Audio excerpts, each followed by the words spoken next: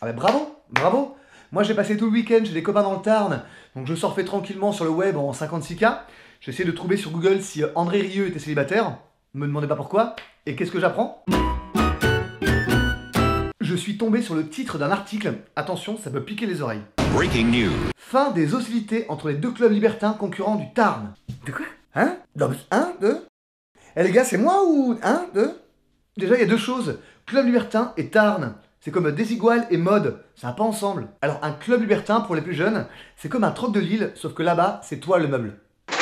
Ah, Là, j'ai vu le titre, du coup, j'ai cliqué. Bah, c'est vrai que des fois, on clique sur des trucs un petit peu accrocheurs. hein. Bon, attendez, les mecs. Qui n'a jamais cliqué sur le bandeau euh, fille coquine de ta région?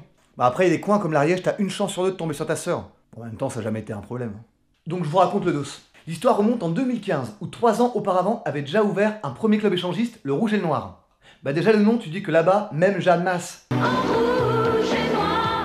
Donc ce club se trouve à Denat.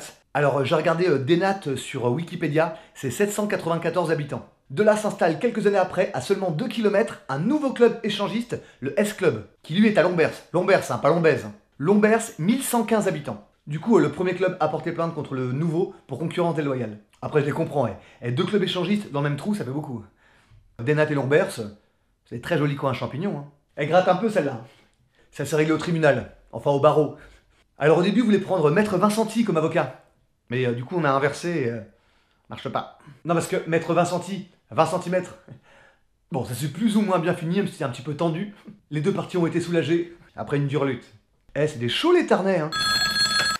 MDR des émissions, bonjour Bah dis donc, tu viens plus aux soirées ternaises Je peux t'assurer que là-bas, les amis de Mazamet sont Mazamet, hein. Là-bas, on appelle la passerelle.